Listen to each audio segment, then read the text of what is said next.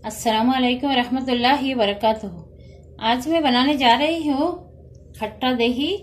जो plane yogurt होते हैं वो बनाने जा रही हूँ। वो इसके लिए मैंने लिया है इधर 500 ml मिल्क उसको मैं अभी पहले उबाल लूँगी।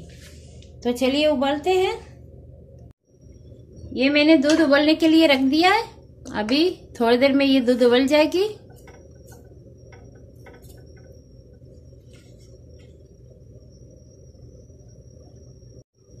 ये हमारा दूध उबल चुका है। अभी मैं इसको थोड़ा सा लो फ्लेम करके उसको दो तीन मिनट थोड़ा सा पका लूँगी। चाहे तो आप थोड़ा ज़्यादा देर पकाए, थोड़ा गाढ़ा हो जाएगा। इतना भी ज़्यादा नहीं थोड़ा सा गाढ़ा करने के लिए मैं इसको दो तीन मिनट और रखूँगी चूल्हे के ऊपर।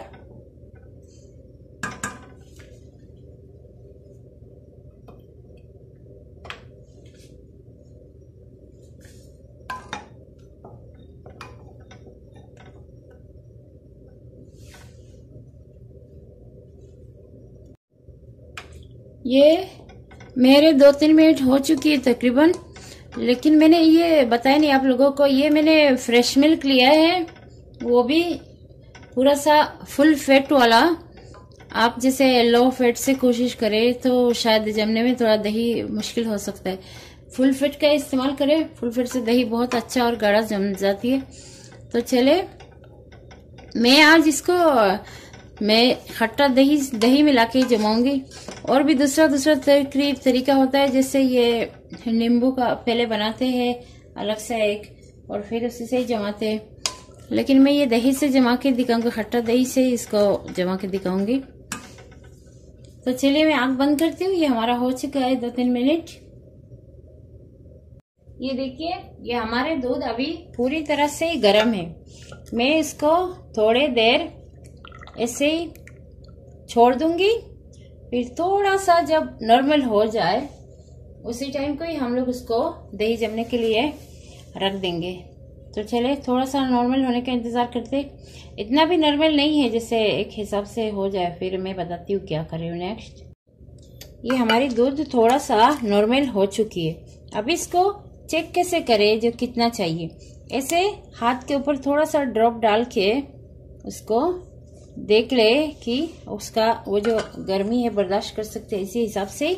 जैसे ज़्यादा गर्म हो तो उसमें दही डाले तो उसी टाइम कोई, जैसे दूध इतना ज़्यादा थोड़ा गर्म रहे तो थोड़ा थोड़ा पतला, जैसे दही इतना गाढ़ा होके जमता नहीं। तो मैं इस दूध को इस एक बोल में ट्रांसफ़र कर लूँगी, थोड़ा ऊपर से करूँगी, क्योंकि मुझे वो थोड़ा सा जाक जाक ऊपर होगा तो दही अच्छा बनेगा।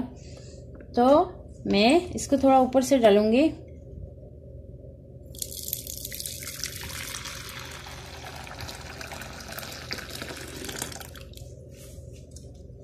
चलिए।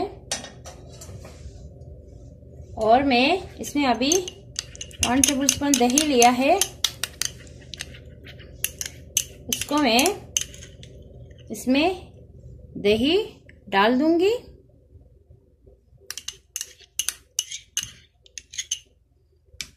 और इसमें अच्छे से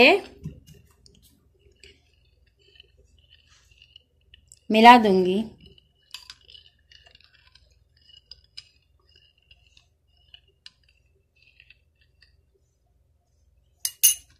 फिर मैं उसको डब्बा बंद करके, ये जो मेरा बोल है उसको बंद कर लूँगी मैं।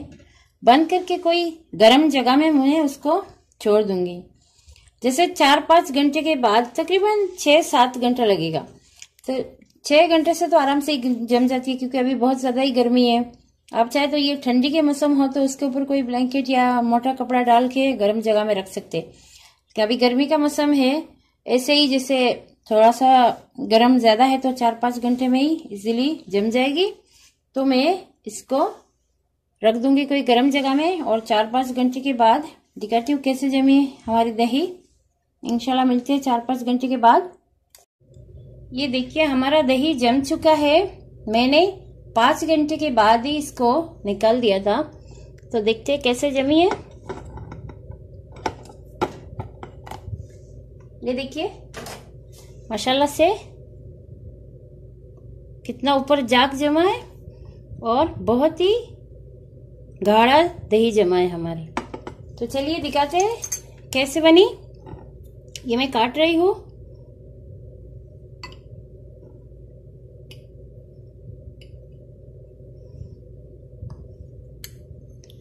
देख सकते हैं? कितना गाढ़ा बना है।